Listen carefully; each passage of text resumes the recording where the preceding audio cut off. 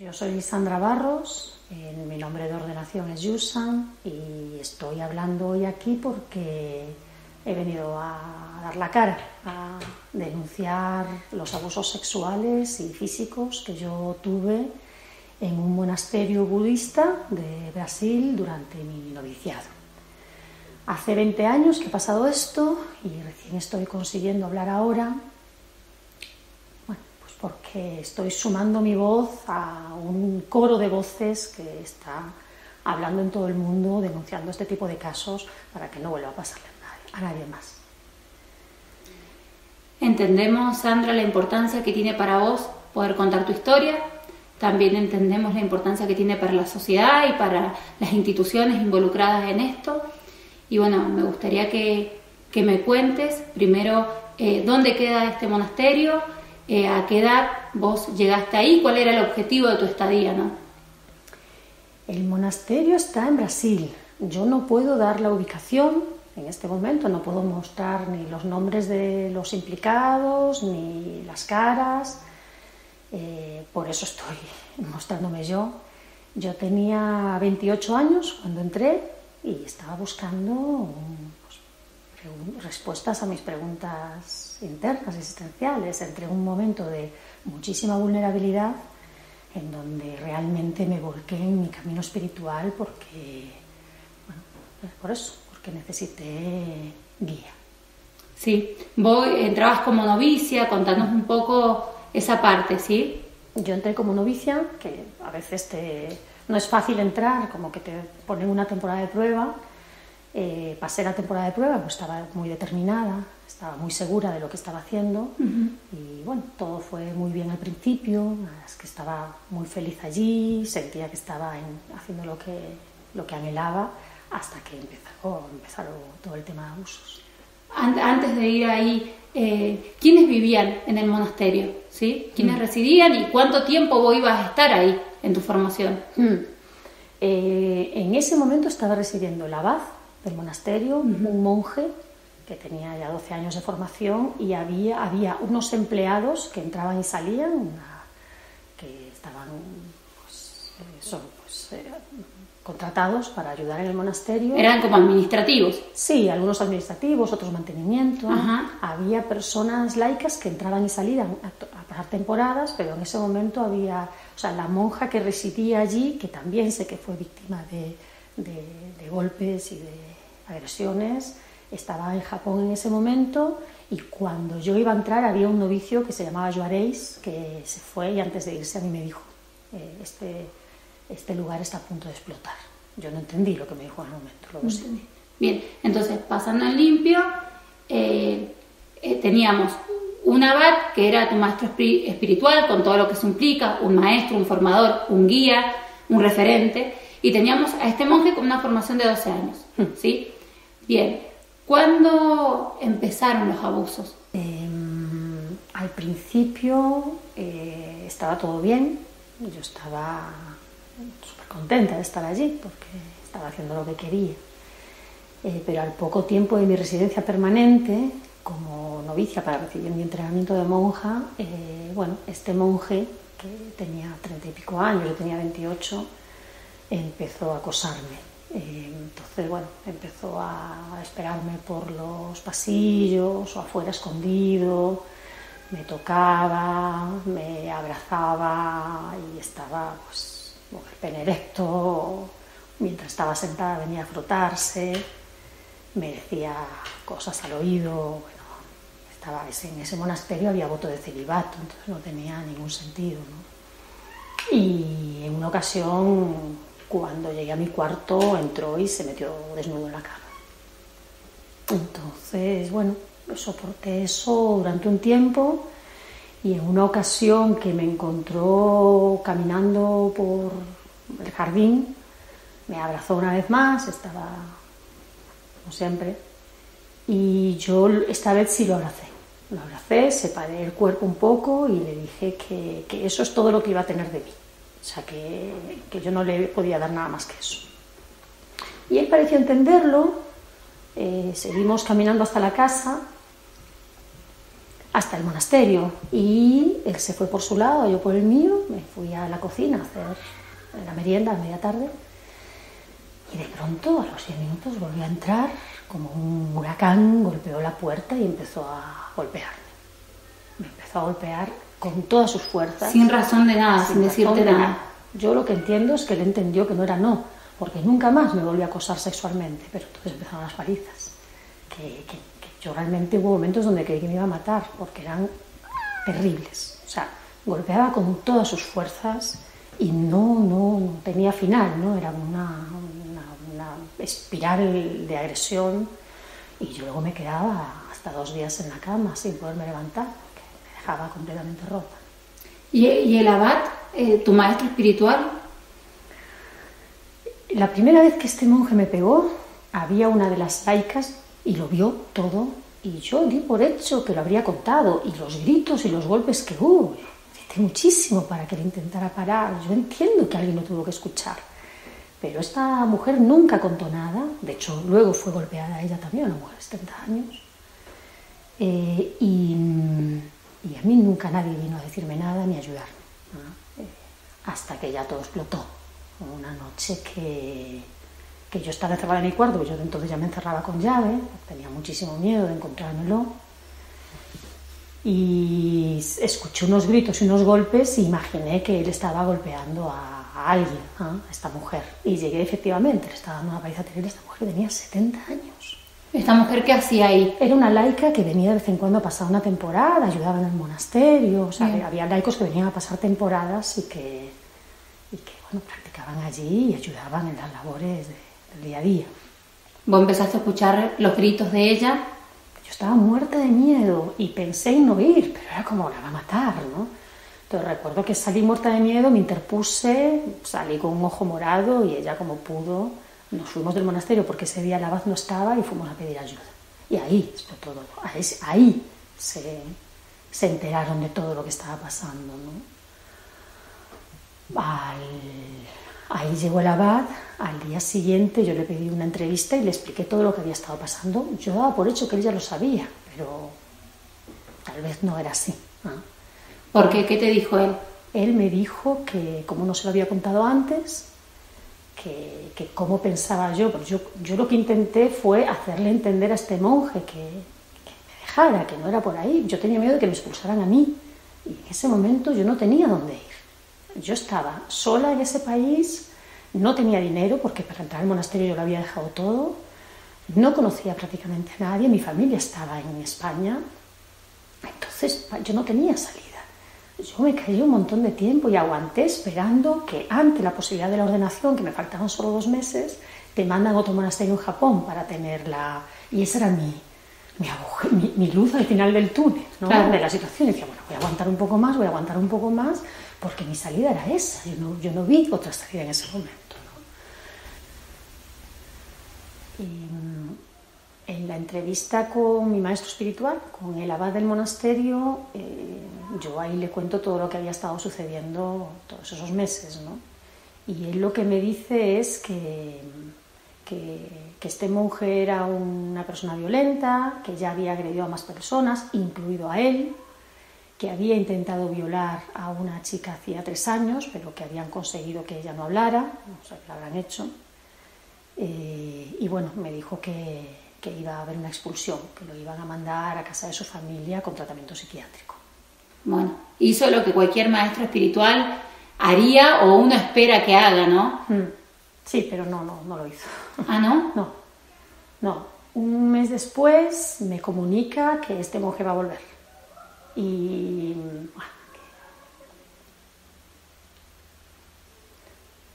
y ahí yo me acuerdo que le hablé con él, le miré a los ojos y dije, pero me va a matar, si vuelve me va a matar.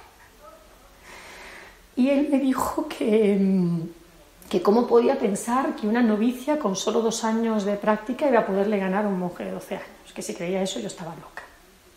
Así que la broma en el monasterio era que si querías unas vacaciones en la playa con, con unas flores de Bach, que había que darle una paliza y usar. Y bueno, y me fui. Me fui.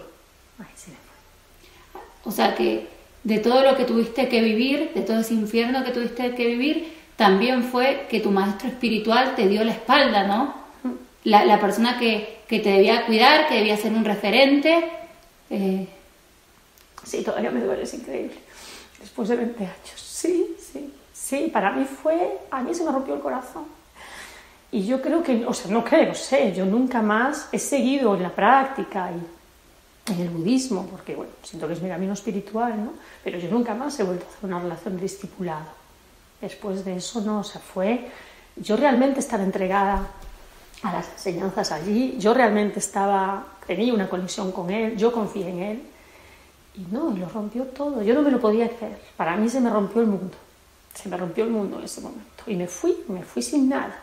No me quise ni llevar la ropa, no me, no me llevé ni una mochila. Me llevé el,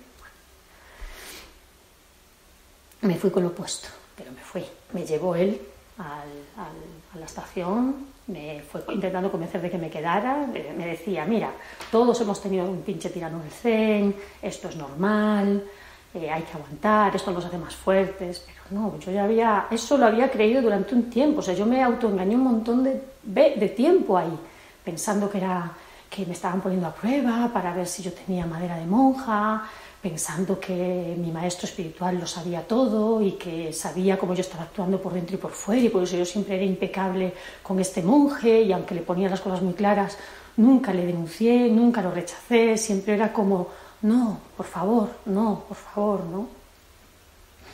Eh, pero ya cuando me decía estas cosas yo ya no le creía.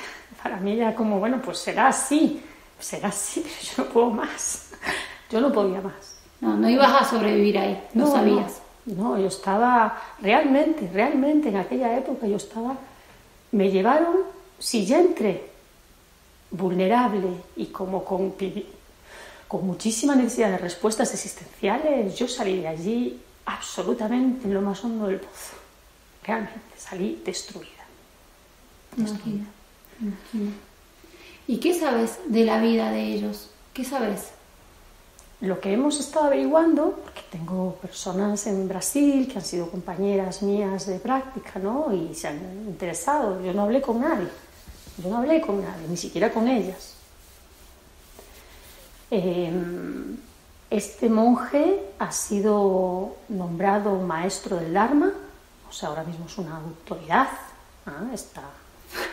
¿Me, ¿Me estás diciendo que esta persona violenta, agresiva, abusadora, etcétera, etcétera, es un maestro zen en la actualidad donde la gente va, lo busca, confía, está inspirada en su vida, etcétera. O sea que la gente que quiere una pregunta, que tiene una pregunta, le va a ir a preguntar a él. Que, perdón, la gente que está buscando respuestas, le va a ir a preguntarle a él. Sí. Por eso estoy haciendo esto. O sea que nosotros, nosotras, perdón, no podemos señalarlos, mostrar su rostro, nombrarlos, porque el delito ha prescripto en Brasil, hmm. pero lo que sí podemos hacer, también acompañado de los medios de comunicación, es buscar más víctimas. Eso es lo que estoy haciendo. O sea, yo estoy dando la cara porque no puedo poner la cara de ellos, me lo ha indicado el Ministerio del Interior de Brasil, donde la denuncia está hecha, aunque haya prescrito, yo he pedido que se haga una investigación por la gravedad de los casos, de, de la situación. O sea, este monje abusador, maltratador, tiene este un intento de violación y sabe Dios que más, eh, está ahora mismo dentro de la institución Sotoshu, está ejerciendo de maestro espiritual y seguramente, como suelen hacer con los violadores, eh, eh, habrá ido de templo en templo y tengo casi la certeza que en este momento está en un templo pequeño cerca de Sao Paulo. En tu residencia de casi dos años, ¿Cuántas víctimas alcanzaste a reconocer eh, de, este monje?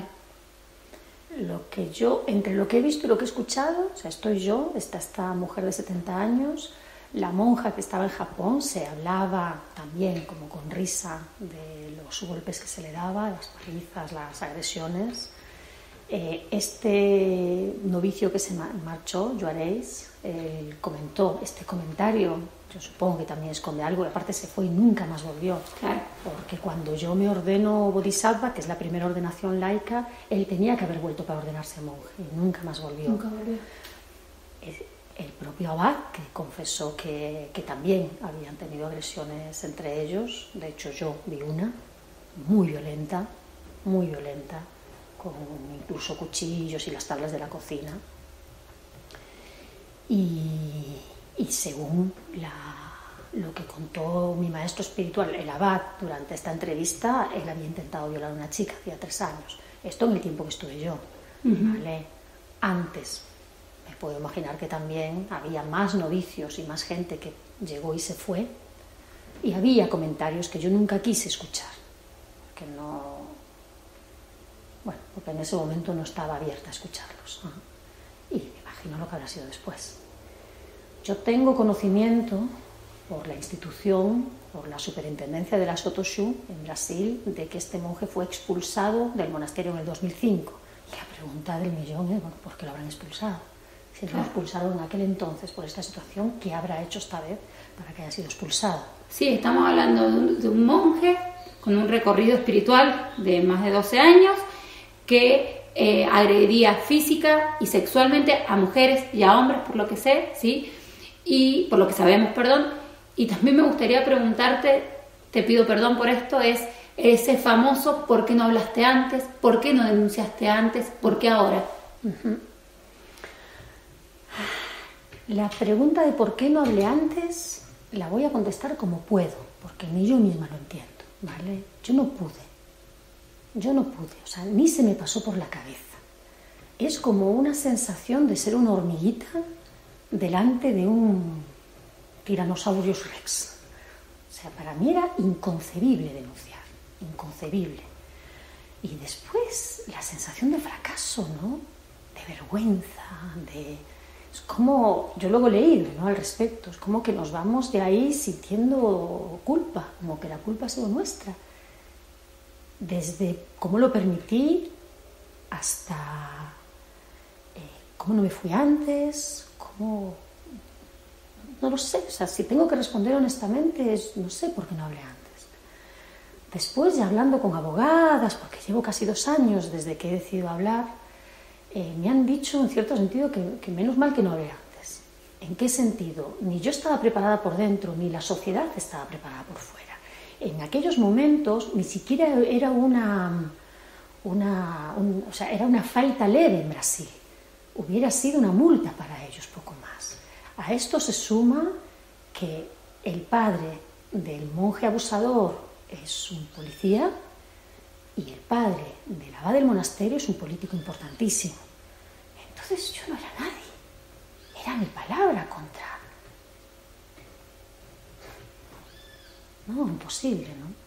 ¿Y cuándo sentiste, sí, sí, yo todo eso, eso, eso logro entender, pero bueno, siempre están esas, esa audiencia que dice eso, ¿no? Sí, que, yo entiendo la pregunta. Yo también. Yo ¿eh? entiendo yo la también. pregunta y la respuesta es eh, la sensa una sensación de que no había puertas abiertas por ningún lado. ¿Y, y, el, y, y cómo se aprovecharon de tu vulnerabilidad Sí, en ese momento sí. para dejarte nada? Absolutamente, absolutamente. Sí, sí. Yo en aquella época no era. ¿Y cuándo sentiste el clic que tenías que denunciar? Que lo podías hacer. Hmm. Eh, Ha sido una cuestión, no es que yo lo pueda hacer, yo sigo muerta de miedo. No es fácil, no es fácil. Yo ahora entiendo, ahora puedo entender por qué las mujeres no denunciamos, ¿vale? Hay que hacerlo para evitar más víctimas. ¿En qué momento yo decido que no me puedo callar más? En el momento en que entiendo por qué está sucediendo en la sociedad, ¿no? Entiendo que con mi silencio yo estoy habilitando que esto siga sucediendo. Entonces, no quiero, o sea, es muy fuerte decirlo, tampoco quiero darme, no quiero entrar en la culpa, no quiero, quiero entrar en la responsabilidad, ¿no? Pero entiendo que con mi silencio yo he sido cómplice de alguna forma. Ah, y los he protegido a ellos en lugar de proteger a quien tengo que proteger, que a las mujeres que de seguro han pasado y están pasando por lo mismo. Entonces, a mí lo que me impulsa es eh, parar esto. Esto tiene que parar. Y yo creo que hay un montón de mujeres que estamos hablando en este momento, exponiéndonos a lo que nos exponemos, dando la cara, exponiéndonos a la revictimización, a que nos acusen de mentirosas. Yo en estas semanas que he empezado a hablar lo he pasado fatal.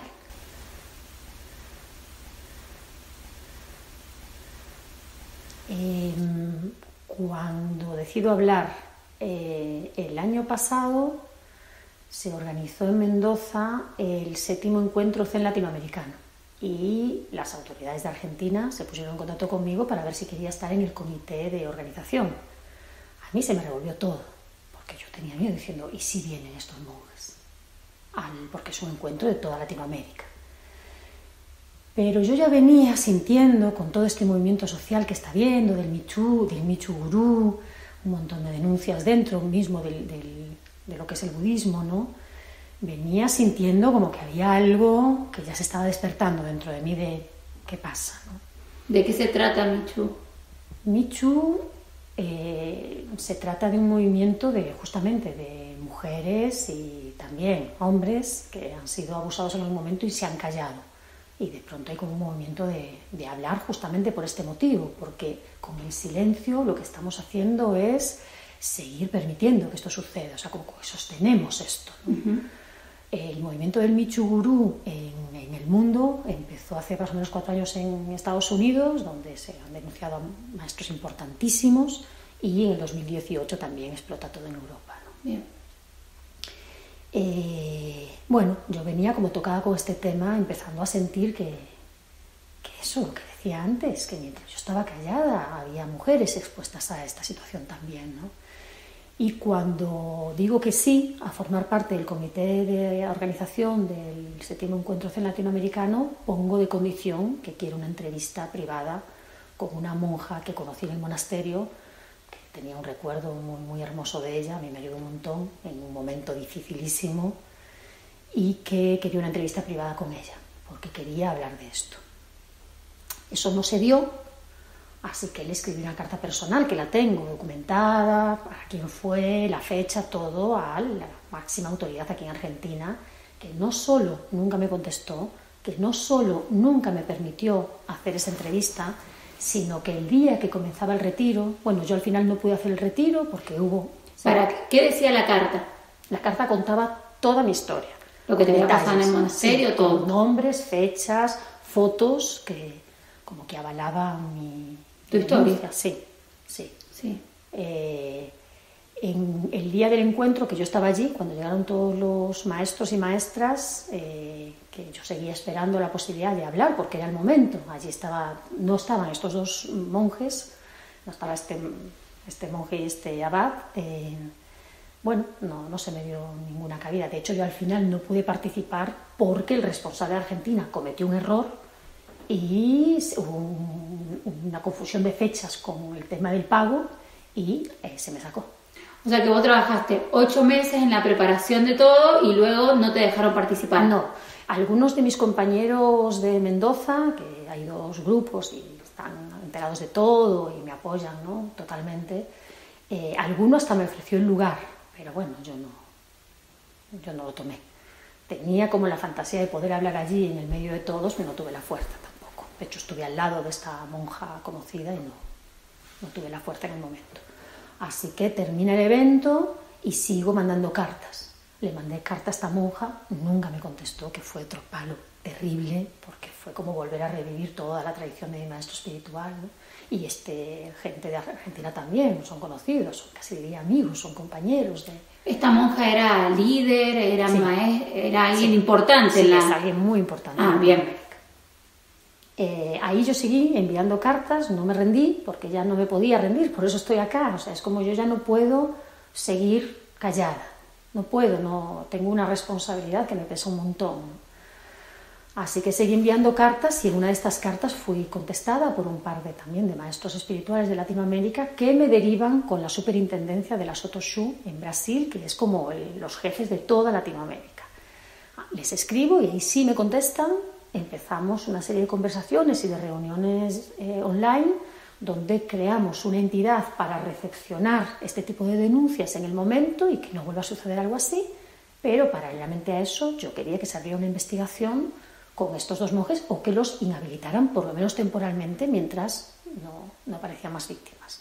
El tema es que esto no lo ni se discutió. O sea, dijeron que no, que ellos no podían hacer nada estos dos monjes. Entonces, eh, para mí no sirve, Porque si con una mano estás abriendo una entidad para recepcionar víctimas y con la otra estás escondiendo a los abusadores, no han entendido nada. Porque la finalidad no es tener un espacio para recepcionar víctimas, la finalidad es que no haya más víctimas. Entonces, en cierto momento se corta la comunicación donde ellos dicen que no van a hacer nada al respecto y donde yo digo que, bueno, que ellos hagan lo que tienen que hacer, que yo haré lo que tengo. Ahí me pongo en contacto con el movimiento Michu de Brasil y la ONG Justicieiras, que hacen entrar mi expediente, o sea, una denuncia formal, y hacen entrar el expediente al Ministerio de Brasil a través de la Ouvidoría das Mulleres. Y bueno, lo último es que en todo este tramiterío se me contesta de manera oficial de Brasil, del Ministerio, diciéndome que no van a abrir una investigación, que el delito está prescrito, pues yo he tardado más de 20 años en hablar, que, que yo tengo el permiso junto con la ONG para hacer público mi caso para buscar más víctimas, para ver si podemos juntar una denuncia conjunta o, en caso de que aparezca una víctima cuya situación, cuyo delito no haya prescrito, poder denunciar. ¿no? Y eso es lo que estoy haciendo. Claro. Eso es lo que estoy haciendo. Al día siguiente recibir este mensaje, que fue un shock, fue un shock, porque fue como recibir otro portazo en las narices, ¿no? Ni siquiera había una investigación con algo tan grave. Claro, y aparte, perdóname Sandra, es esto de que te otorgan permiso para... Por mi cuenta, por mis medios, dicen que la policía no lo va a hacer, que no van a hacer ese gasto, que yo tengo permiso para hacerlo por mis medios. Así que estoy usando mis medios. Al día siguiente creo una página en Facebook que se llama Michu Guru eh, Latinoamérica y doy la cara yo. Doy la cara yo, no puedo mostrar su rostro, bueno, este es el mío. No me pueden prohibir mostrar Miracuso, que me lo dio mi maestro espiritual, no me pueden prohibir mostrar las fotos que tengo de aquella época, no me pueden prohibir contar mi historia, porque me han dado permiso para buscar víctimas y eso estoy haciendo. Entonces, bueno, es tiempo, es tiempo. No sé por qué no fue antes, no lo sé. El, tema es que es ahora. Ahora está abierto, ahora están los medios, están las páginas, está todo el movimiento feminista, está la ley. La ley cambió en el 2018 en Brasil todavía en el 2018, de manera que hay ahora otro trato a este tipo de denuncias, ¿no? Pero bueno, la realidad es que tiene que ser a través de la ley, porque la realidad es que la institución está avalando esto. Y esto ha sido otra vez más el palo, ¿no? De una institución con la que llevo en relación más de 30 años, una institución en la que yo he querido, una institución a la que yo he defendido, porque mi silencio tenía que ver con decir, a ver, por culpa de dos depravados y dos desalmados, no quiero dejar mal a una institución que es real, funciona y es bella y hermosa, ¿no? Que luego te dio la espalda. Es que se me ha caído todo. Claro. Una vez más se me ha caído todo. Claro. Porque es volver a vivir ese momento con, con mi maestro espiritual en donde de pronto todo. te dice, no, estás sola. Sí. Y lo interesante que ya no sos esa Sandra vulnerable de hace 20 años y ahora estás parada y sostenida eh, de otra manera, ¿no? Sí, porque la sociedad está cambiando. Entonces yo tengo grupos feministas que me apoyan, hay gente dentro del budismo que me está apoyando incondicionalmente, está la ONG Justicieras, está la red de, abusos de, red de sobrevivientes de abusos eclesiásticos. Soy el primer caso de, de abusos no católicos, no dentro de la iglesia. Eh, me han recibido con todo el cariño, preparándose para un caso así, porque es una novedad. Tengo mis abogadas, o sea, hay todo un equipo que inmediatamente se ha eh, solidarizado con una situación que saben que es real, que existe, que ha existido siempre y que es tiempo de que debe existir. O sea, es, tiempo de parar con eh, permitir con el silencio que todas estas cosas sigan sucediendo, porque siguen sucediendo siguen sucediendo. Y esto es lo que hay que entender y romper esa imagen ideal, idealizada del camino espiritual. El camino espiritual está lleno de buenas personas y de malas personas. Y en el budismo también. Sandra, estás escribiendo en, la, en tu página, tenés un blog personal, lo haces todos los días, contanos sobre eso. Sí, cuando yo decido hablar y usar todos mis medios, ¿no? aparte de las denuncias y todo esto que te he contado, eh, creo una página de Facebook que se llama Michu Guru Latinoamérica y ahora también la acabo de abrir en Instagram. Entonces yo me he comprometido, o sea, la responsabilidad que he tomado conmigo misma es escribir todos los días. Pues todos los días voy escribiendo, voy contando mi historia y la verdad es que es eh, sanador. Es una sensación de cosas que tenía olvidadas, cosas que había como tapado. Eh, puedo llorar de nuevo cuando voy recordando, o sea, una sensación de limpieza, ¿no? Y bueno, me da mucho que pensar porque la realidad es que yo creo que no se dimensiona. O sea, alguien que no ha pasado por un abuso, un maltrato, una violación, me parece que en la sociedad no se dimensiona el daño que hace profundo en el tiempo, no solo en el momento, y lo que cuesta salir de ahí. O sea, yo he estado, no sé, 15, 20 años de terapia. De terapia comprometida con mi proceso terapéutico, rehacer mi vida. Yo tengo un marido, yo tengo un hijo, yo tengo una hija. Poder optar a una vida normal a pesar del trauma, porque hay un trauma. O sea, yo tengo un peritaje psicológico que se suma a las pruebas ¿no? de la acusación, donde se ve clarísimamente. Entonces, bueno, es otro tema que hay que, hay que sacarlo del tabú. ¿Qué, ¿Qué, sucede después? ¿no? ¿Qué sucede después de unas experiencias así? ¿no? ¿Cómo quedas marcada? No solo en mi camino espiritual, sino en mi camino personal. ¿Cómo rehaces tu vida después? ¿no? Entonces, eh, bueno, esto, aquí también hay que acompañar a las víctimas. Sandra, sabiendo lo, lo fuerte que ha sido tu, tu, recorrido, lo que, lo que fue, lo que es, ¿sí? Eh, ¿Cómo ves hoy este, las instituciones religiosas en manos de personas que nos deberían cuidar y guiar? Pues lo veo atroz, atroz. A ver, la religión para mí es como un cofre que guarda un tesoro. Hay gente dentro de las instituciones que entiende este tesoro, ¿vale? Que es la espiritualidad, que es el camino del amor, de la verdad, todas estas cosas que ya sabemos, ¿no? El problema es que si el cofre está podrido, ¿vale? Si las instituciones están eh, escondiendo, avalando pederastas, abusadores, maltratadores, eh, no sirve. O hay que limpiarlas o hay que separarse de ellas. Y cuando hablo de separarse de ellas, el Estado separarse de ellas, los practicantes separarse de ellas y crear instituciones seguras. Hay que crear espacios seguros y actualmente, y esto lo digo con conocimiento de causa, actualmente las instituciones religiosas no son lugares seguros para nada, para nada. Bien. Sandra, eh, primero bueno, agradecerte por habernos eh, confiado a nosotros tu historia, sabemos la, la importancia que, que, que, tiene esto para, para vos, sabemos lo que, te, lo que te ha costado, lo que te está costando, te vemos, te escuchamos, te leemos todos los días, porque todos los días estás escribiendo, mm. es un compromiso y una fuerza enorme que estás teniendo. Y bueno, también pedirte eh, algún mensaje para todas aquellas víctimas que no se animan a denunciar, que perdieron la fe, que lo vieron como algo en su historia y lo taparon. Uh -huh. Y bueno, ¿qué, le, qué, ¿qué, les podés decir vos? Que parece un cliché, pero que ya no estamos solas. Y es verdad. O sea, es cierto. Ahora mismo es tiempo, se puede. Hay. O sea, yo digo que lo he pasado fatal estas semanas. Eh, porque a lo mejor hay un 1% de las personas que reciben este impacto, ¿no? porque es un impacto denunciar esto, a lo mejor hay un 1% que han tenido una respuesta desagradable, el otro 99% es un apoyo maravilloso, incondicional, incluso vosotros. Vosotros estáis aquí porque yo, yo, me he sentido también que estáis acogiendo esta historia con muchísimo respeto y muchísimo cuidado. ¿no?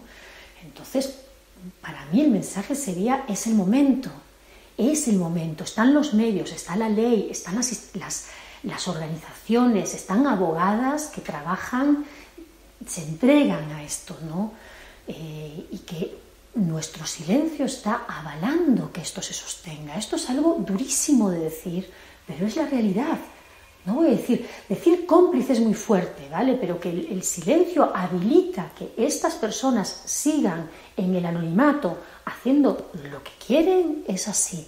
Entonces, juntas somos más, de verdad que ya no estamos solas, es tiempo de hablar ni solos, porque en la red de sobrevivientes de abusos eclesiásticos, más del 80% son varones que han sido abusados. Entonces, no es una cuestión de género, es, un, es una lacra social muchísimo más profunda de lo que nos podemos siquiera imaginar, porque encima está el tabú de hablar de esto. Entonces, es tiempo de poner la vergüenza y la culpa en el lugar que corresponde, que es en el de las personas que hacen estas locuras, son unos desalmados de verdad. Es tiempo de denunciar, poner caras, poner nombres, que llegará el momento y que, y que se sumen para poder convencer a la ley y a las instituciones de que tienen que actuar. Que la sociedad está actuando porque la sociedad está preparada para esto y son las instituciones y la ley las que todavía no lo están. La lucha en todo el mundo por la no prescripción de delitos sexuales ya no puede sostener mucho más la ley. El hecho de que si hablamos después de 20 años, los que se van a sentir calumniados y difamados son los agresores y la delincuente soy yo, mientras ellos son los que han hecho algo malo y yo solamente estoy contando mi historia. Entonces es el momento, es el momento y es necesario. Es necesario. Sí, porque yo tengo una hija, yo tengo un hijo y tengo una hija. Entonces nos tenemos que preguntar si queremos esto para nuestras hijas. Y si la respuesta es no, es el momento de hablar. Es el momento. Gracias, Ana. Gracias a vosotros, a vosotras y a vosotros.